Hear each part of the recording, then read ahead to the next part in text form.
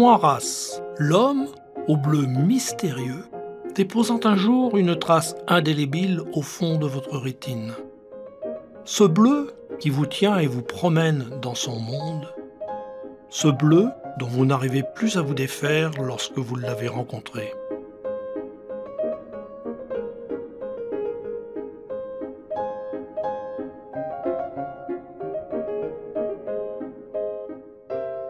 Moiras, forçat infatigable du pinceau, accoucheur de toile promené tout autour du monde, donjon perché sur Montpérou pour garder un œil sur la vallée de l'Allier, et nous en transmettre les couleurs saison après saison.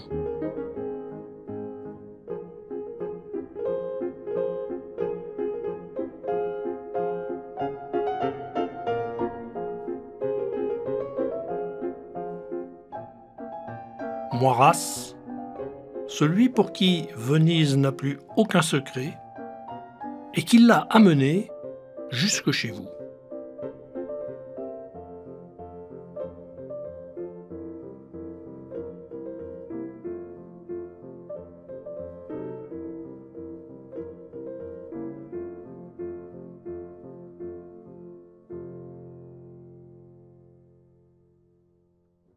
Pour beaucoup, pour vous peut-être, c'est sans doute Moiras le plus familier, le seul dont vous ayez jamais entendu parler.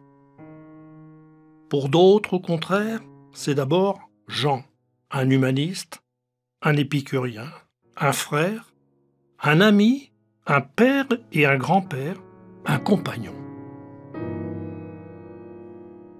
Apprendre à connaître Moiras, regarder ses peintures avec les deux yeux, c'est aussi partir à la rencontre de Jean pour les prendre, tous les deux, Jean et Moiras, dans les feux de son projecteur pour en multiplier les ombres portées et les laisser vous conduire jusqu'au rivage de son imaginaire.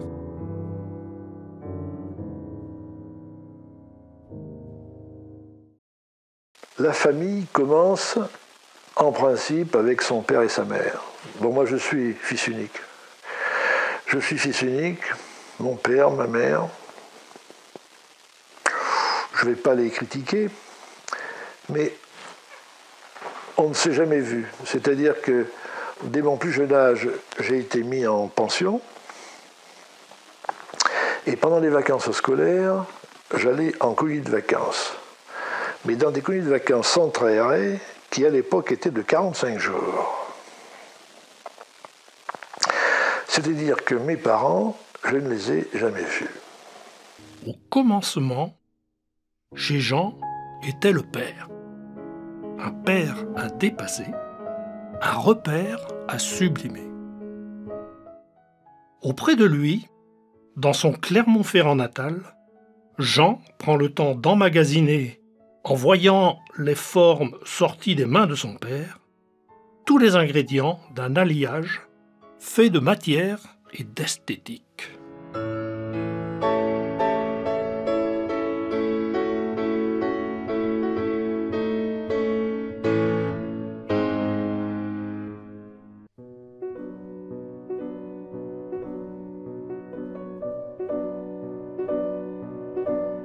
Soucieuse peut-être de lui transmettre l'ouverture d'esprit et la rigueur de sa propre éducation, sa mère, elle, veillera sur son parcours scolaire. Après l'institution Sainte-Thècle, Jean se retrouve à l'école Nestor Perret, acquérant très tôt une expérience très approfondie des colonies de vacances et des séparations familiales. À 10 ans, il intègre le pensionnat de Saint-Saturnin où il se frotte pendant une année à la rigueur de l'éducation janséniste, avant de rejoindre le Franc-Rosier à Clermont-Ferrand, un établissement où la discipline aussi cléricale que sportive lui paraît alors presque douce. Dans un nouveau pensionnat, il prépare le concours d'entrée à l'École nationale professionnelle de Thiers un établissement décléricalisé dont Jean va revêtir l'uniforme et où il va passer cinq années de formation, jamais bien loin de la rigueur et du sport. Football et rugby se rapprochent de lui. S'y sentant bien, il lui arrive de prétexter une punition pour ne pas rentrer le week-end. Côté sport, son choix s'affirme définitivement, ce sera le rugby.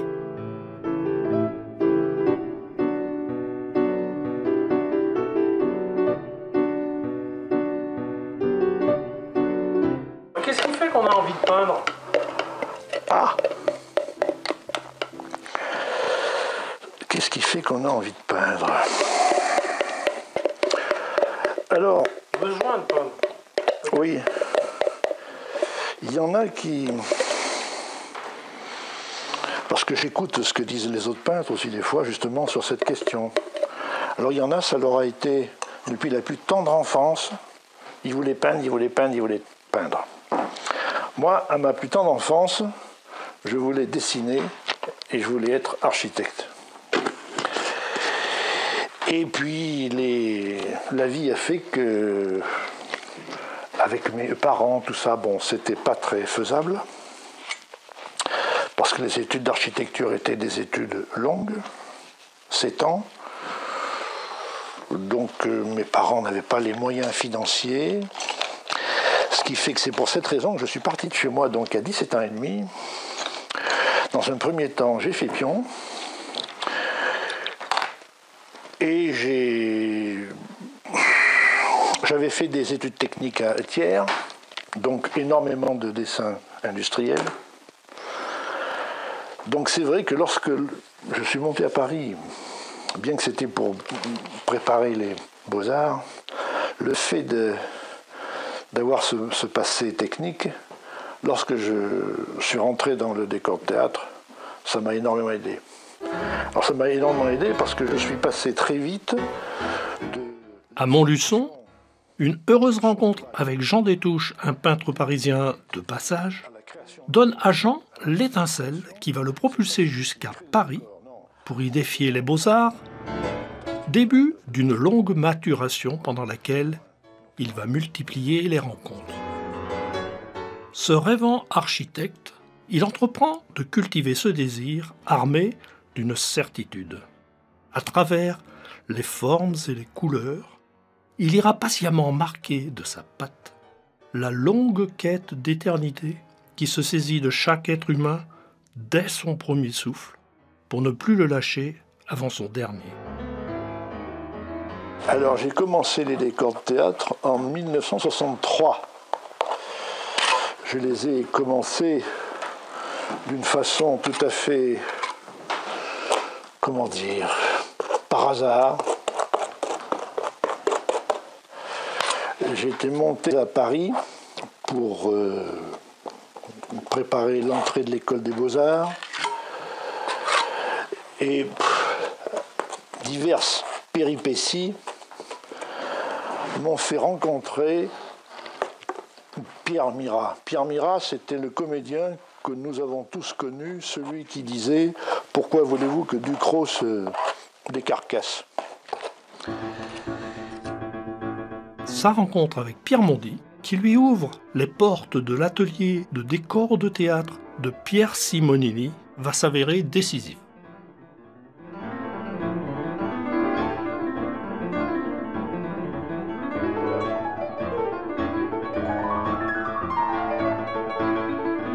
Et je me retrouve à côté de Pierre Mira, qui me dit, au cours de la conversation, qu'est-ce que vous faites, tout ça? Bon, là, je dis, ben, je prépare l'école des beaux-arts, tout ça.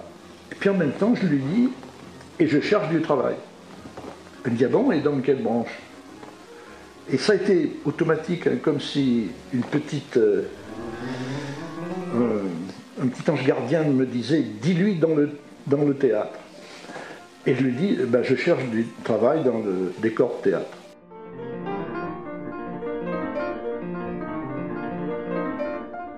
À ce moment-là, il me tend sa carte, il prend sa carte, et il me met derrière Pierre Mondi avec l'adresse de Pierre Mondi.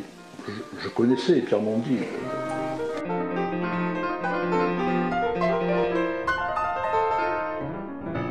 Le lendemain, me voilà à Montmartre, chez Pierre Mondi. Je frappe. Un jeune homme euh, s'avance, c'était son euh, secrétaire qui me dit Qu'est-ce que c'est? Je dis Ben voilà, je viens de la part de Pierre Mira. Et là, au bout du couloir, apparaît Pierre Mondy et il dit Qu'est-ce que c'est? Et le secrétaire lui dit ben, C'est un monsieur qui vient de la part de Pierre Mira. Faites rentrer. Je m'avance près de Pierre Mondy. Il me dit Vite, je suis pressé. Je lui dis ben, Je cherche du euh, travail dans le décor théâtre. Et il me dit Bon, moi en ce moment, je suis sur aucune production, donc je ne peux, pas, euh, peux pas vous orienter. Il prend sa carte et il me dit Allez voir Pierre Simonini, au but de Chaumont, nom de l'adresse. Et il rajoute Si lui n'a pas de travail, abandonnez le décor théâtre, vous n'en trouverez pas.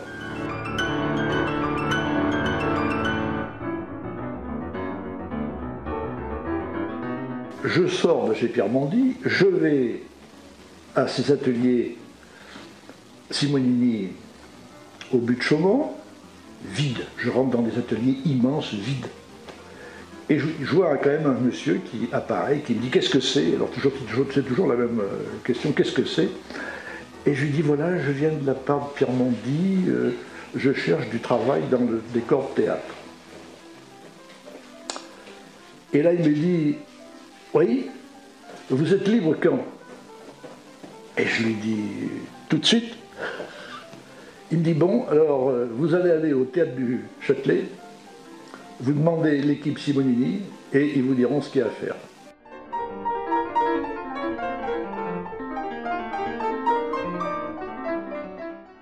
Et là, on a travaillé 15 jours, c'était avec Aznavour, c'était pour euh, Monsieur Carnaval. Et au bout de 15 jours, je suis retourné donc euh, chez Simonini. Et comme il n'avait pas eu de remarques particulières, il m'a donc gardé pendant 9 ans. Esquisse après esquisse, décor après décor, il va petit à petit donner au temps les moyens de multiplier les apprentissages, de se frotter à quelques maîtres qui déposeront chez lui une trace indélébile, celle du mariage de l'art et de la beauté. Je me suis vite rendu compte que j'apprenais pas grand-chose aux beaux-arts, puisque les seules choses que il n'y avait aucune technique, on était censé la posséder déjà, et on faisait plus de la conversation, même avec les professeurs, que de la véritable création. Et là, je me suis rendu compte que c'était, cette méthode n'était peut-être pas celle qui, me, celle qui m'allait le mieux. D'autant que dans le décor de théâtre, on euh, travaillait avec de très très grands artistes. On a travaillé avec euh, Chagall, avec euh, Masson, César, donc j'en apprenais beaucoup plus comme ça le père peut désormais s'effacer, d'autres références ont commencé à le suppléer, celles se sont installées dans sa main pour la guider dans le monde de la peinture. Jean est désormais sur l'orbite d'un monde où de la matière, il fera jaillir la lumière de l'esthétique. Libérant petit à petit l'expression de son art, formes et couleurs peuvent commencer à remplir sa quête d'absolu, affiner leur intimité avec l'étoile, jusqu'à se confondre avec lui. J'ai de plus en plus de plaisir de peindre. J'ai de plus en plus de plaisir de peindre parce que, mine de rien, le fait de travailler, de travailler, travailler, travailler, je suis devenu quand même comme un pianiste si le pianiste regarde ses doigts pour jouer, ça va plus. Donc le, pianiste, pour faire un concert qui va durer une heure et quart, une heure vingt, il va avoir trois mois de réflexion. Mais ces trois mois de réflexion ne sont pas sur sa technique. Non, ils sont sur l'émotion qu'il va transmettre.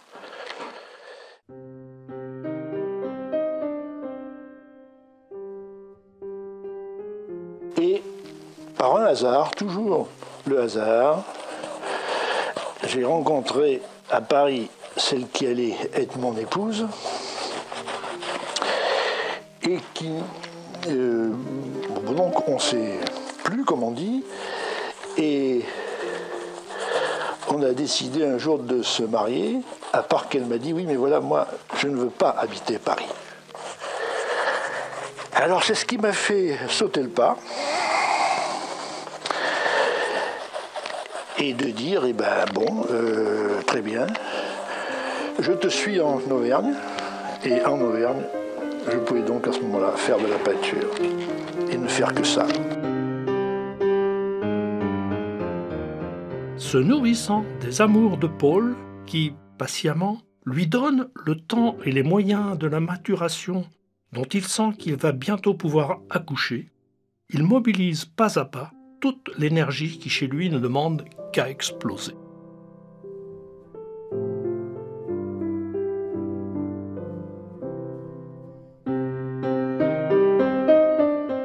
Mais la lutte contre la maladie de Paul va bientôt les accaparer pleinement. Pendant cinq ans, leur quotidien alternera entre espoir et désespoir, jusqu'à ce que Jean se retrouve seul devant ces toiles blanches, les remplissant de toute la douleur et la révolte de la perte de l'être aimé. On ne peut pas remplacer la maman, de toute façon. Donc on essaye de faire seul l'éducation de son enfant. Mais ma femme jusqu'au bout a été remarquable. Je ne sais pas si dans les mêmes conditions je le serai. J'ai d'autres cas d'ailleurs d'amis qui ont été remarquables. Une proviseur de Blaise Pascal, par exemple, qui a été remarquable. Il y a des gens comme ça qui, dans euh, la maladie, sont euh, remarquables et vous montrent l'exemple dans la maladie. Donc il y avait quand même ça et je ne pouvais pas euh, me laisser aller. Quand je me suis retrouvé seul avec mon fils, donc un salaire en moins, hein, et c'est pas moi qui gagnais le plus là, fallait que je gagne de l'argent. Bon, fallait que je m'en sorte. Alors il se trouve que par la peinture, ça a fonctionné. Ça n'aurait pas fonctionné, je n'aurais pas attendu plus de six mois. Hein. Mais j'aurais fait n'importe quoi. J'aurais, j'avais une camionnette à l'époque, bah, je me serais mis à, faire de la, de la petite euh, restauration chez les gens, poser des étagères, euh, changer des joints. Enfin, je, euh, je n'aurais pas pu rester, je n'aurais pas pu rester à quémander quoi que ce soit. Euh, quand elle est décédée, donc c'est en avril, on est parti aux États-Unis à la fin de l'année scolaire, donc en juillet. On a fait la route 66 là. On le verra traverser des continents avec Charles, son fils partir au croisement de toutes les routes, aller à la rencontre de toutes les sagesses, reconquérir une à une les couleurs de la vie.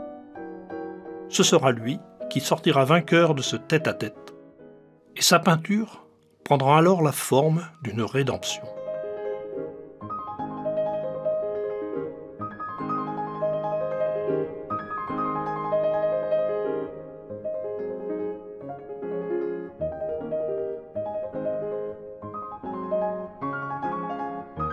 Lorsque ses poumons multicolores finissent de se déplier pleinement pour laisser sortir sa peinture, l'artiste est bien là.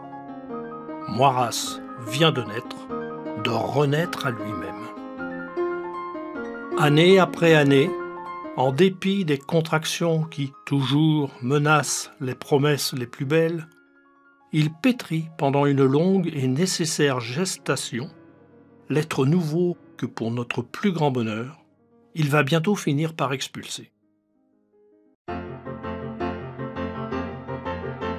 C'est grâce à leur amour de la musique et une amitié commune avec le pianiste Laurent Martin qu'Anne-Marie vient rejoindre sa vie.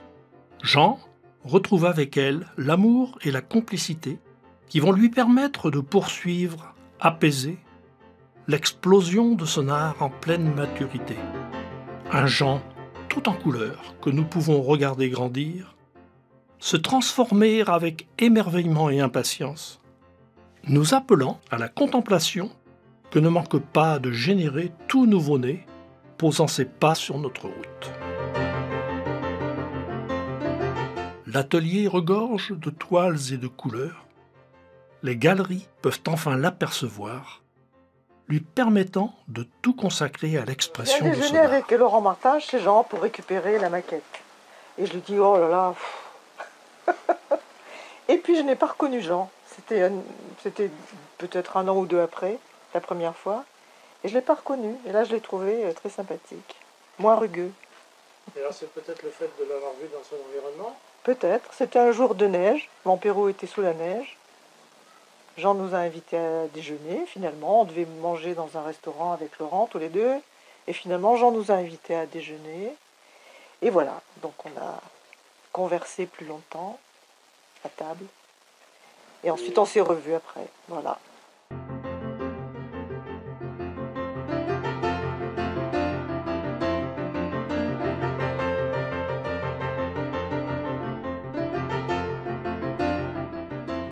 j'aime bien, j'aime bien les arts, j'aime bien, j'aime bien ce que fait Jean. J'ai été conquise par sa peinture, mais surtout par lui, d'abord. Non, mais même pour un peintre, la peinture ne suffit pas, parce que pour que le peintre soit libéré dans sa peinture, il faut que son esprit, d'un autre côté, soit aussi libéré, soit soutenu. Voilà.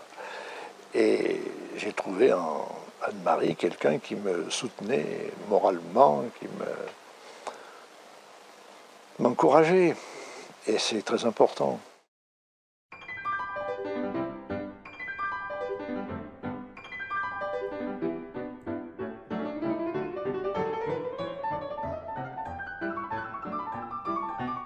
À partir de 2000, il a dû voir que mon style, c'était, comment dire, que la progression était linéaire. Le principe des galeries, c'est que lorsque quelqu'un passe sur le trottoir devant la galerie, il doit pouvoir reconnaître qui est le peintre. Une décision est quelque chose qui se mûrit doucement et on suit le peintre euh, assez régulièrement dans l'ombre sans qu'il s'en rende compte jusqu'à ce que nous nous rendions compte nous-mêmes que euh, cette fois, ça y est, il a trouvé son style, son écriture, il est vraiment lui-même, et on attend de lui toutefois à ce qu'il nous surprenne, c'est-à-dire qu'il ne soit pas figé dans quelque chose que l'on décide être bon à un moment donné, c'est-à-dire qu'il a une écriture, et avec cette écriture, et sa personnalité, sa sensibilité, sa manière de peindre, ce qui l'intéresse dans la nature, dans la vie, eh bien, il soit, il produise des tableaux qui sont des moirasses, qui n'ont rien à voir avec aucun autre artiste. Il doit être unique, il fait son œuvre. Quand on sent qu'il est capable de le faire, alors on peut s'intéresser à lui. Bien entendu, on ne peut pas autrement s'intéresser. C'est un énorme travail que de s'occuper de la vie euh, d'un artiste, de son œuvre. Il y a le métier de peintre et le métier du vendeur, qui ne peuvent pas être euh, deux choses qui se... Ce sont deux choses solidaires, mais qui ne peuvent pas être faites par la même personne. Et j'ai trouvé dans la galerie Christiane Vallée, et surtout dans René Chaban, quelqu'un qui a eu confiance en moi, parce que quand euh, il s'est intéressé à moi, je n'en étais pas encore là.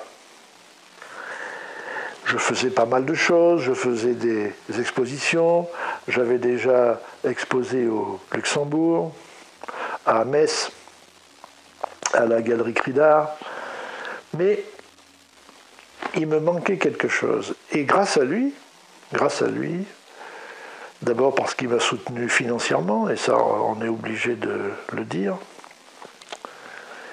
j'ai pu ne penser qu'à la peinture. Mais on est dans une peinture qui est intemporelle avec Jean, qui est à la fois donc, dans les couleurs, dans l'architecture de sa peinture. Il y a de plus en plus de motivation pour le faire connaître à l'extérieur de la galerie. Le monde l'appelle et se saisit de lui. Je ne suis pas un peintre instinctif. Vous avez les peintres instinctifs, qui, le mec qui se réveille la nuit, il a une idée, il se lève, il va à l'atelier et hop, hop, ça y est, c'est fait. Bon, Moi, pas du tout. Il faut que je cherche le sujet, que je me documente, que je me déplace, si c'est des paysages, si c'est bon. Euh, voilà, par exemple Venise et New York, j'y suis allé tellement souvent. Venise, j'y suis allé une trentaine de fois. New York, douze fois. J'ai ce paysage dans euh, la tête. Oui, et je le recompose dans ma tête. Mais non, je suis un peintre de raison, c'est-à-dire que c'est d'abord le dessin. Alors peut-être que ça me vient d'ailleurs de cette formation technique.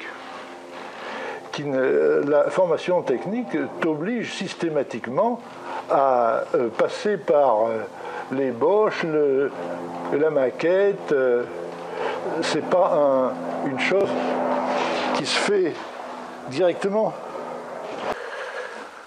Cette méthode du dessin à faire par terre avec un long instrument me vient du décor de théâtre. Parce que dans le décor de théâtre, les toiles à peindre sont absolument immenses, des fois plus de 20 mètres, ce qui fait qu'elles sont donc au sol et on est obligé de tout à la fois peindre, même au niveau du pinceau, d'avoir des instruments de ce type.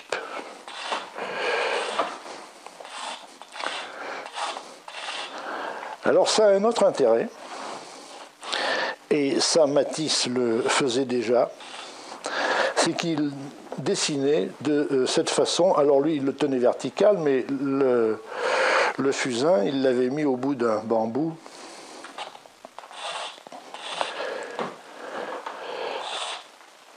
Car il était certain que ça augmentait la sensibilité du, du trait. Ce.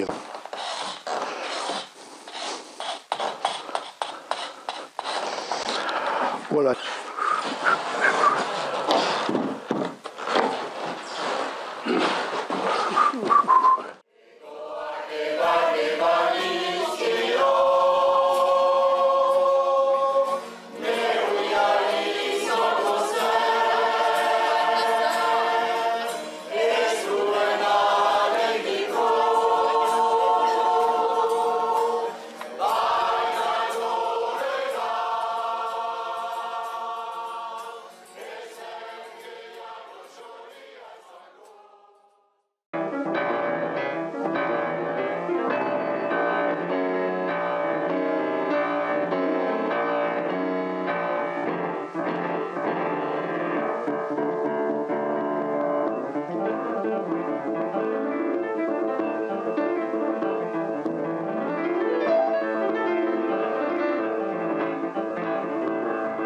La musique m'émeut beaucoup, la musique peut me faire pleurer.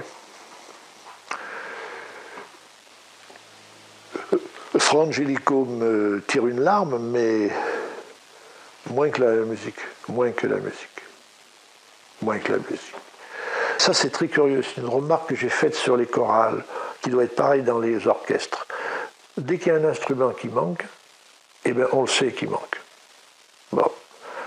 Vous allez dans un club service, vous n'allez pas le jour à la réunion, personne ne s'en rend compte. Et là, si vous n'êtes pas dans votre pupitre, si votre pupitre devient léger, immédiatement, eh bien on sait qu'il y a un trou et on sait qu'il y a quelqu'un qui manque.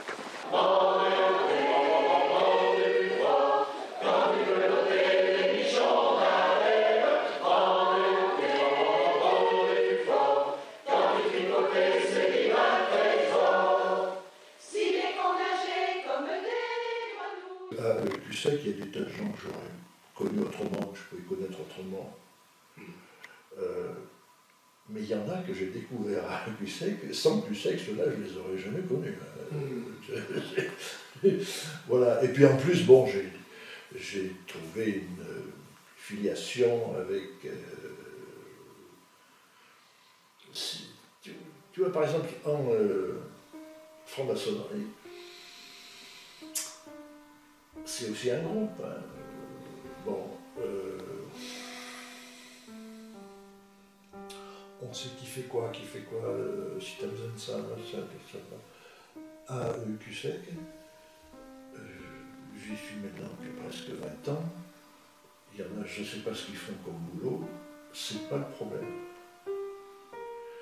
Il y a la résonance et l'amitié entre qui fait que. Voilà. T'as pas besoin de savoir. J'ai j'ai pas, j'ai pas besoin de savoir. Et on se voit quand même une fois par semaine. hein, euh, donc, euh, tu sais, des fois, euh, je dis, voilà, heureux. Faut encore bien. Ouais, bon. Eh ben non. Et alors, tu vois, la, la différence qu'il y a avec euh, la maçonnerie, c'est qu'en maçonnerie, si tu n'y vas pas, bon, personne ne s'en rend compte. Et puis toi, ça va pas te manquer. La musique, c'est quelque chose qui, qui t'échappe. Et c'est des choses, c'est les seuls moments où ça m'a tiré une larme. En peinture, j'ai eu des émotions intenses. Je n'ai jamais eu le syndrome euh, euh, de Stendhal en euh, peinture. Ça vous coupe le souffle. Il y a des choses qui vous coupent le souffle. Et là, la musique, pour moi, ça n'en fait pas. C'est quelque chose que l'on découvre, que l'on découvre dans une partition musicale. Il n'y a pas une vision globale. Il y a une chose que l'on découvre seconde par euh, euh, seconde. Et justement, c'est là que l'émotion monte. Et il n'y a que la musique qui m'a euh, tiré des larmes, oui, bien sûr. La peinture, je l'ai appréciée, je l'ai jugée, je l'ai décortiquée. Peut-être justement parce qu'on sait un peu comment c'est fabriqué. Mais la musique, je ne suis pas du tout musicien, donc je suis celui qui uniquement écoute. Moi, la musique, je crois que une fin de vie, c'est par la musique.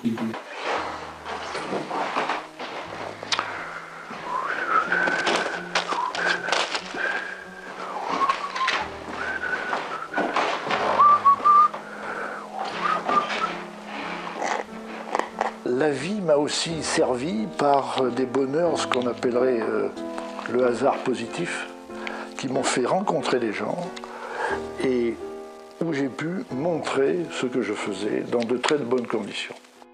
Jean-Louis Barrault et Madeleine Renaud, l'Odéon, Jean Marais, Jacques Brel et tant d'autres seront en tête d'une longue liste de lieux et d'artistes majeurs qui laisseront chez Jean la patte d'une culture jamais rassasiée que toile après toile il nous invite à rejoindre. Pour une raison que j'aurais aimé, que j'aimerais rencontrer tout de suite, c'est Depardieu, mais comme on a le même âge, si tu veux, euh, lui, il n'était pas connu euh, quand moi je démarrais dans le, le théâtre. donc, euh, bon. Mais, là je vais faire le vieux con, les, les deux personnages, de, justement, du, de son seul showbiz, ce qu'on veut, qui De l'art, de l'art, oui, euh, qui m'ont vraiment ému par leur euh, gentillesse, par euh, c'est Jean Marais et c'est Brel. Deux individus, euh, alors eux, ils ne faisaient pas la différence entre si tu étais machiniste, décorateur, si tu étais le producteur, donc bourré, il n'y avait aucune différence. voilà. Alors, Brel, bon, c'était. C'était quelque chose, Brel aussi, parce que quand il arrivait sur le plateau, il y avait une certaine effervescence sur le plateau entre les machinistes qui sont là-haut, qui gueulent, qui, euh, t'appellent, enfin bon. Il arrivait, c'était le silence. Et on se tournait vers lui. C'était quelque chose de. Alors, on, on voit ça à l'opéra, le- par exemple, Don Juan. Don Juan n'arrive jamais par le côté, il arrive toujours par le fond, et l'ensemble des chanteurs comédiens se retournent, ce qui fait qu'à un moment donné, tout le monde est de dos, sauf Don Juan qui arrive de face. Et Brel, c'était ça. Il arrivait, tout le monde se retournait, et on ne voyait plus que lui. En 68, j'étais au théâtre de l'Odéon et euh, je travaillais pour euh, Jean-Louis Barrault. Je me souviendrai toujours, c'était le 11 mai, parce que le 13 mai, c'est les barricades de la rue Soufflot. Donc c'était deux jours avant les barricades. Et tous les soirs, il y avait le chambard euh, au spectacle, il y en avait qui balançaient de la farine, enfin bon, de la, des tomates, en fait bon. Et tous les, le lendemain matin, il fallait repeindre les décors, que la salle soit nickel bon, pour le soir. Parce que Barrault avait dit, c'est pas les étudiants qui m'empêcheront de jouer. Les, aussi bien les machinistes que les, les décorateurs étaient tous d'accord pour assurer les représentations. Un jour, j'ai vu un petit rougeau, là, donc le 11 ou oui, c'était le 11, c'était deux jours avant le 13 mai, qui rentre dans le théâtre et qui dit Barreau est mort. Le drapeau noir et le drapeau rouge. Le petit rougeau en question, il a beaucoup évolué. Je l'ai entendu dire récemment à propos des, euh, des 50 ans de mai 68 qu'à cette époque-là, il avait dit beaucoup de bêtises. Bon, le petit rougeau en question, c'était Cohn-Bendit. Malraux, à l'époque, a eu l'audace de dire à Barreau Vous les avez laissés rentrer, je vous vire. Je, je vous vire. Barreau a dit Très bien, je suis viré. Mai 68 s'est passé, et en septembre, Jean-Louis Barrault, que l'on croyait mort, comme il il reprenait le temple du catch à, euh, à Montmartre, il en faisait un théâtre, il montait Rabelais, le texte de Rabelais, avec la musique de Paul Naref. Alors pour un mec qui soi-disant devait être mort, c'était quand même euh, un sacré retour. Le peintre qui, décennie après décennie, s'est affirmé chez Jean, rejoint régulièrement l'architecte qui continue toujours à veiller en lui, nous livrant des mosaïques et des sculptures où il peut continuer à donner à ses compositions ce caractère monumental cultivé dans les décors de théâtre, les exposant à la morsure des intempéries comme un défi lancé au temps qui passe. Retour à Paris, je rencontre ce monsieur charmant, banquier, mais banquier euh, faisant partie du conseil d'administration. Hein. Euh, bon, et puis nous sympathisons, je lui dis que je ne faisais pas que euh, de, la peinture, que je pouvais faire de la mosaïque. Et il m'a dit, mais attendez, j'ai mon frère qui est l'architecte de Port-Camargue. On a des projets là-bas, il n'y a, a, pas de raison qu'il n'y ait pas des décorations à faire. Il appelle immédiatement son frère, il me passe son frère. Je lui dis, oui, bon voilà, je fais de la décoration, je fais des mosaïques. Il me dit, ben, il faudrait qu'on se voit samedi prochain.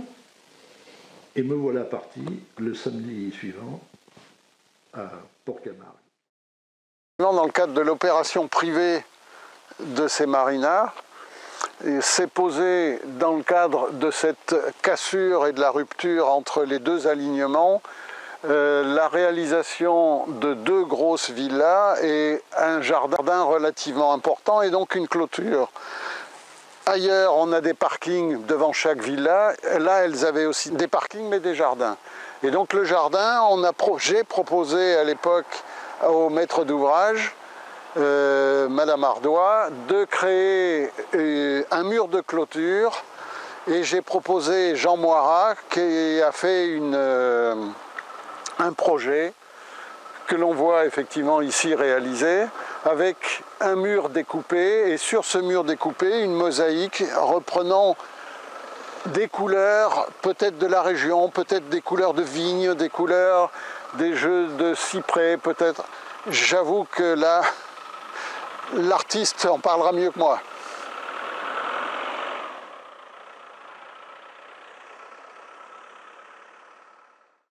Chaque œuvre architecturale euh, dépend du site, de l'intégration dans un site bien déterminé, et que ce soit en montagne, à la mer en plaine, en ville.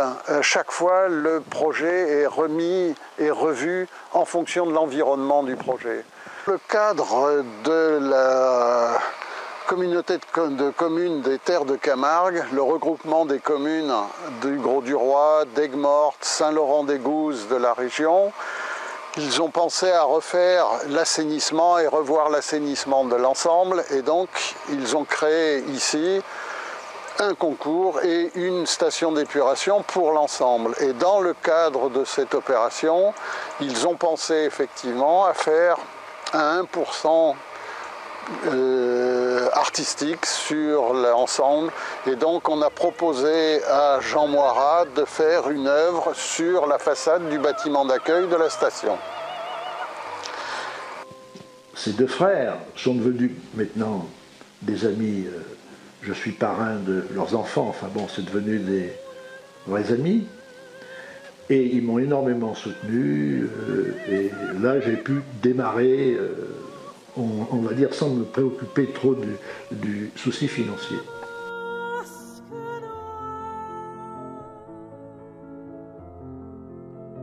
En 2019, Jean met notre main dans celle de Casanova lui-même, personnage inépuisable qui va nous conduire au cœur de ce Venise qui ne cesse de l'inspirer.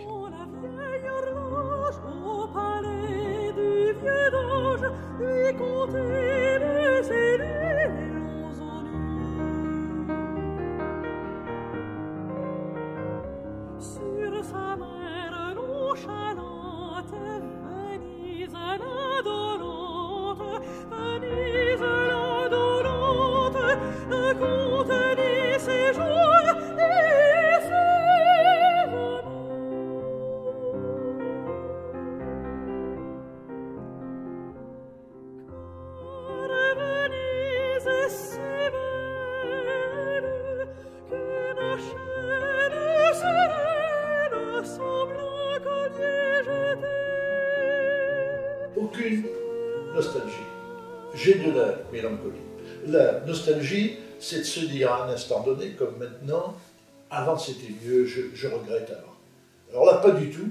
La mélancolie, c'est que c'est constater qu'avant, il est évident que maintenant je vis mieux qu'avant. Donc euh, je n'ai rien à regretter. Et en même temps, euh, alors que ce n'était pas la gloire, c'est cette mélancolie, mais c'est cette mélancolie sûrement de l'âge qui fait qu'on n'a plus 20 ans et que même si c'était pas la gloire, eh ben c'était bon. Moi pour l'instant je suis comme Aznavour. Je ne suis pas vieux, je suis âgé.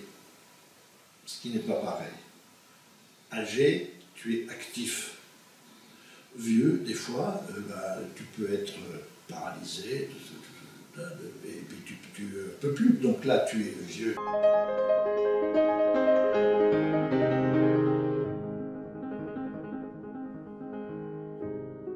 Actuellement, je suis persuadé que la vie, c'est la couleur. C'est pas le noir et blanc, c'est pas le gris, c'est la couleur. Et c'est la seule chose qui peut, qui actuellement me fait, qui me donne du punch. L'homme, lui, n'oublie pas pour autant de quoi il a été façonné, ni ce qui va lui permettre de garder l'équilibre, lui éviter les sorties de route qui, parfois, s'invite avec l'ivresse du bonheur retrouvé. 73, hein, 73, presque 50 ans, tu vois. Alors, j'en ai fait un peu le tour. J'en ai fait un peu le tour parce que je me suis rendu compte que les frères, puisqu'on s'appelle comme ça, c'est des gens comme tout le monde. Les, les meilleurs ne sont pas là. Les meilleurs, il y en a partout. Il y en a de très bons. Mm. Mais il y, a, quelques mauvais aussi. Hmm. Il y a quelques mauvais. Alors, tu as ceux qui croient en une religion. En principe, ils n'ont pas besoin d'y aller. Je dis en principe, ils n'ont pas besoin d'y aller. Et puis, ceux qui y vont, en fait, c'est une voie substituée. C'est-à-dire qu'ils n'ont pas de religion et ça va leur permettre de fonctionner sur des rites. Moiras ne comblerait en rien sa quête de paix intérieure s'il avait dû, pour exister, écraser toutes les valeurs que Jean a acquises au fil du temps. Ces piliers qui font qu'en dépit de la reconnaissance du peintre, le parcours de l'homme demeurera toujours pour lui plus important que celui de l'artiste. Là, je ne suis pas plus sensible à ceux qui me démolissent qu'à ceux qui m'encensent. Non, non, je ne suis pas sensible. Mais il y en a qui me démolissent. Hein. Si Jean est bien sûr pleinement conscient de toute la force que ces toiles sont capables de nous transmettre, et des réponses à nos propres soifs d'absolu qu'elles sont susceptibles de véhiculer, la première des missions pour lui aura été de tendre d'abord vers la complétude de la propre vie d'homme qui lui a été confiée, de la remplir au mieux, sans complaisance, sans évitement. Ma famille commence avec moi et avec mon mariage. Ça, c'est ma famille. C'est ma famille. J'ai eu un fils qui j'ai essayé de ne pas être comme mes parents. On s'est toujours vus. On a été complices. Le malheur, c'est que sa mère est décédée, il avait 13 ans. Avec son propre enfant, on est très dur, c'est-à-dire que on veut ce qu'il y a de mieux pour eux. On, on essaye de faire ce qu'il y a de mieux. Bon, j'espère que j'y suis arrivé, grâce à lui aussi, parce que ça n'a pas été un rebelle. Il a été rebelle contre moi, mais bon, au niveau scolaire, il a été brillant. Euh, il l'est encore, il n'y a aucun souci pour ça. Il est marié avec une femme charmante. Euh, tout va bien. Tout va bien. Jean va donc accompagner Moiras, matin après matin, sur le chemin de l'atelier, avec envie, avec délice. Un atelier que Louise et Paul, ses petits-enfants, viennent maintenant régulièrement égayer de leur insouciance et de leur sourire. Les petits-enfants, alors là, découverte totale. Papy, papy, alors ça, c'est. Donc je les ai assez souvent. Ils ont 8 et 6 ans, hein. mais à 8 et 6 ans, euh, euh, ils ont tous mes livres, ils essayent de me copier. La fille, Louise, qui a 8 ans, essaye de me copier. Oui, moi j'aime bien le regarder. Le garçon, lui, le polo, c'est surtout Star Wars. Hein, c'est. Tu préfères l'anglais ou la peinture? La peinture. Couleur, vous préférez? Le bleu. Qu'est-ce que vous aimeriez dire à votre papy Que je l'aime. Que c'est plus gentil. Le problème de la peinture, c'est vrai qu'une exposition est livrée à un public, mais celui qui va acquérir ou celui qui va apprécier, c'est un discours solitaire déjà de, de l'œil avec, un, avec une toile. Et des fois, il ne sait pas pourquoi il aime plus cette chose-là qu'une autre. Ce qui fait que, effectivement, dans euh, la peinture, comme je vous ai déjà dit, une peinture n'est jamais finie. C'est celui qui la regarde qui l'a euh, finie. Je ne peux pas adhérer à tout ce qui passe par le verbe. Pour moi, la peinture, c'est le geste, et quand je regarde une œuvre, je veux sentir la main du mec. Si ce taiseux de nature surprend parfois par ses silences, c'est peut-être aussi pour nous inviter à aller le découvrir, à chercher, au tréfonds de ses peintures, tous les sentiments que les mots seuls ne sauraient nous traduire, et qu'il nous livre régulièrement sous la forme d'une multitude de bouquets fleuris. Durant tout le temps que euh, j'ai passé avec mon épouse avant qu'elle décède, elle assurait ce qu'il fallait. Elle était prof, et moi, tous les matins, je me disais, je vais faire quelque chose de nouveau. de nouveau. Bon, très bien. Ce qui fait que quand on regarde un peu ce que j'ai fait durant à peu près 18 ans, 21 ans, on a l'impression qu'il y a une multitude de peintres, que ce n'est pas le même peintre. Lorsqu'elle est décédée, je me suis dit déjà dans ma tête, mais ça c'est mental, il y en a qui n'auraient pas réagi de la même façon. Je me suis dit, mon gars, t'as assez cherché, maintenant, il faut que tu assumes. La chose nouvelle, c'est fini. Maintenant, je suis dans une continuité. Mais tous les matins, je m'astreins. Ah oui, absolument. Ça, je. je Qu'est-ce que je m'arrête? Je m'arrête, euh, allez, on va dire le samedi à 11h, là, mais je rattaque le lundi à 8h. J'ai enseigné deux ans au collège de Champé. J'ai enseigné deux ans à l'école d'architecture. Mon rôle était de leur libérer la main. Parce que les architectes, le thé, l'équerre, le compas, euh, tout ça, ça a bloqué un peu la main. Donc, mon rôle, c'était de leur dire tout ça, et le crayon en main, et on y va comme ça. Quant au collège, eh bien moi, je suis persuadé que contrairement à ce que l'on t'a dit, tout le monde peut apprendre à dessiner.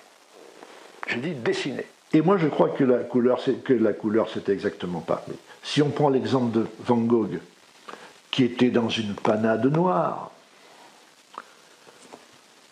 il s'est explosé dans la euh, couleur. Il a vécu dans la euh, euh, couleur.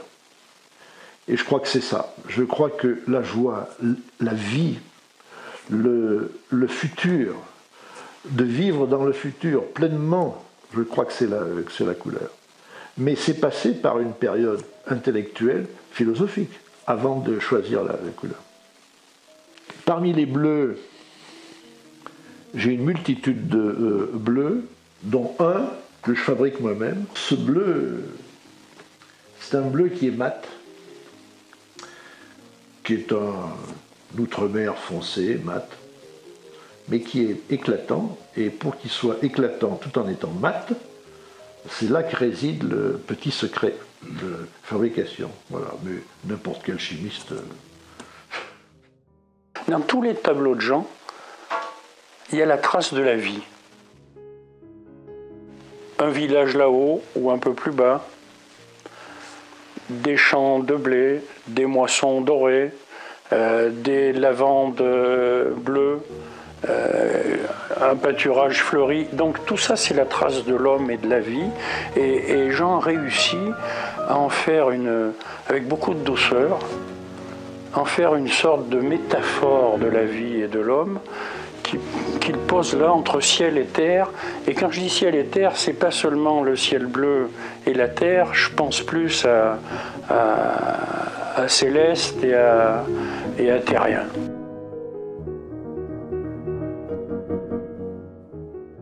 Alors, qui sait C'est peut-être parce que c'est d'abord Jean qui transpire dans ses tableaux que nous demeurons à l'affût des œuvres de Moiras et du message intemporel qu'elles sont capables de nous transmettre. Que nous continuons à guetter la sortie de ces toiles, promesse de découvertes sans cesse renouvelées.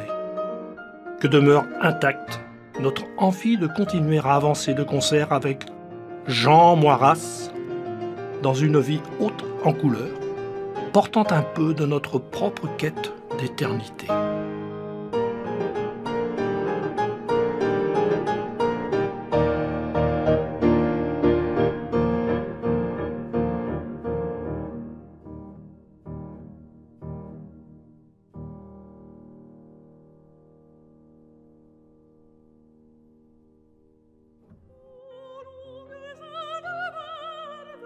Chanter, aimer, voyager, contempler, se fondre dans la musique, donner autant que recevoir, partager petits bonheurs et grandes peines, célébrer la vie sous toutes ses formes, une vie faite de fidélités et de partage. Jean, est bien toujours là, veillant sur Moiras, capable de l'entraîner dans le risque de nouveaux horizons artistiques, l'aiguillonnant et l'invitant à se renouveler sans cesse pour se rapprocher toujours un peu plus de son Graal.